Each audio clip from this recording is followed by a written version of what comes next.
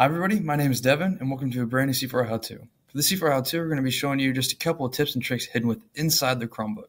So for this first one, it's a very easy one and what you're going to do is come over and click control and right above the six there should be a button that looks like a Windows. You're going to tap that and in the bottom right hand corner it's going to show screenshot taken. That'll also that'll also show up in a folder in your Google Drive and that's where you can access that photo.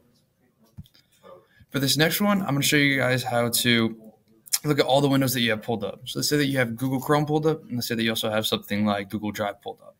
What you can actually do is go to that button right above the six and click it again, and then show everything that's pulled up.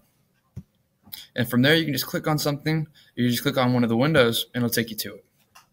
For this last one, I'm going to show you guys how to multi-screen something like Google Docs and Google Chrome if you're doing a project for a certain class. What you're going to do is you want to take it out of full screen first, take it right here at the top, drag it over to a corner. Right here, a faded image of that is going to pull up. You're just going to let go, and there it is.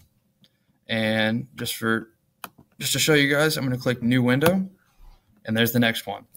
I hope that you guys really enjoyed this video, and make sure to leave a comment down below on what you guys would like to see in a future video. This is Devin, signing off.